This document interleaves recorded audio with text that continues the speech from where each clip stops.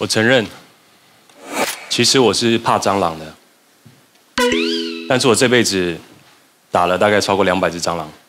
为什么？因为女生看到蟑螂会来找我，那我很害怕，女生找我，可是我可以找谁？我永远记得有一个女生叫我打蟑螂的时候，给我一张卫生纸，只有一张。你们知道卫生纸多薄吗？打下去之后湿湿的，还会动，造成我内心的创伤，我也不敢讲，我只有今天才讲出来。后来，费洛蒙啊，青春期，我情不自禁的爱上了女生这种无情的生物。每个男生都一样，你知道我们写字有多丑吗？我们写那个情书，用丑陋的字写下了我们的真心，一笔一画交给女生。女生一看，哇，真心真丑陋，打枪我们。你们知道我们内心压力有多大吗？是的。那现在，我们终于熬过了感情这一关，我们交过了五个、十个女朋友，社会突然对我们说：“你是个渣男。”哎，我说不对哦，我前女友她也交过十个男朋友，那你怎么说？哦，她的闺蜜们说，那是因为你之前碰到的都是渣男，公平吗？社会对我们的评价公平吗？那接下来出社会，我们要打拼了，是不是？我们要跟女生一分高下。结果突然出社会，我们所有人头发被理光，北中南的男生通通聚在一起洗战斗澡。哎，你发现没有女生的场合，是不是就公平了？没有，竞争更激烈。你发现有些男生他是有特长的，你大学苦读四年的专长比不上他的特长。香港人不见得有香港脚，但是我的同袍他没有住在三只，他有三只脚。好。我熬过了当兵这一年，接下来我出社会，出社会怎么样？时间对男女是公平的了吧？抱歉，国人的平均寿命，男生只有七十七点六七岁，而女生是八十四点二五岁，足足差了七年。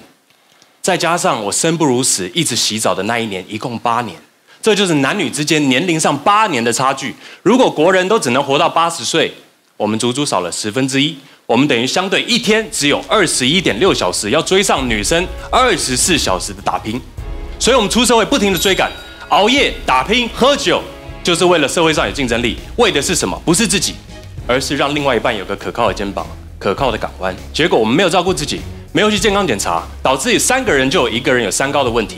我们甚至没有时间出国旅游，我们没有去过印度，印度不足的问题就来找我们了。四十岁。再过四年我就四十岁了，我希望你们可以给我一个热烈掌声鼓励，帮助我挺过这个。接下来把你们的掌声回向给在座所有男性，你们辛苦了，谢谢。好，三分零六秒的时间，谢谢害怕蟑螂的杨生达。看播出之后啦，我觉得之前可能一二集的那个语速还有用字太艰深的时候，我自己是观众，我都会出戏。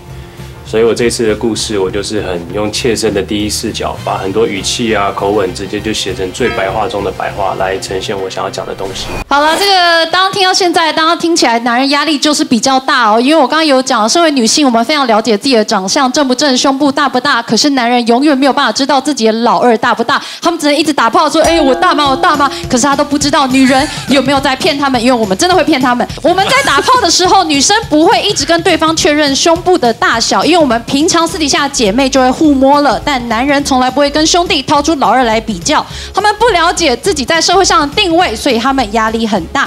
最近 Me Too 一直爆嘛，那男人压力也很大，因为他们就很怕说以前性骚扰过别人，会不会被爆出来，自己一系的成就就没了。像女性就不用烦恼这些，我一天到晚在男生面前开黄腔，还会一直偷摸男人的胸肌。侯昌明跟陈大天都被我性骚扰过，请问他们有站出来指控吗？他们不敢，因为被我性骚扰很丢脸。他们承受很大，他们承受很大的压力，他们压力大到宁愿把这个秘密带进棺材里哦。另外，这个压力其实比较来的，因为现在的男人不止压力大，是越来越大。在古时候呢，男人遇到喜欢的女人是可以把她直接敲昏就扛回山洞里，但现在男女交往呢，必须要在乎女性的感受，还要取得他们的积极同意才有机会打炮。女生如果突然对他说嗯 no no，他可能会以为对方在叫他。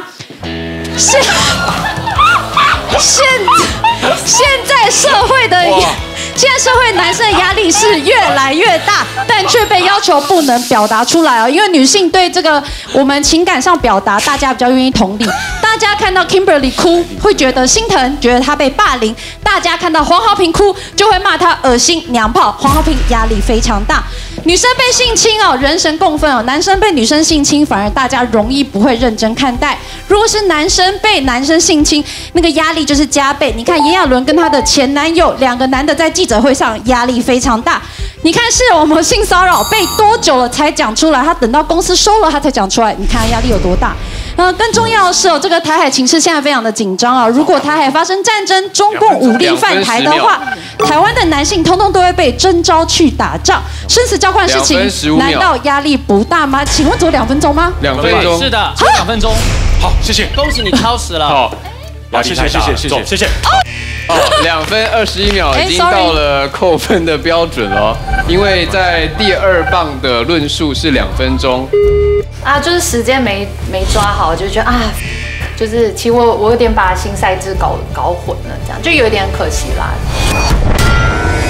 我来简单一下回答一下凯莉。凯莉如果要讲 “no no” 这两个字，为什么不能大大方方讲出来，一定要把它写在稿子里呢？可见得女性在现在的社会当中，我们连发言我们都要如此小心翼翼，难道女性的压力比就比较大吗？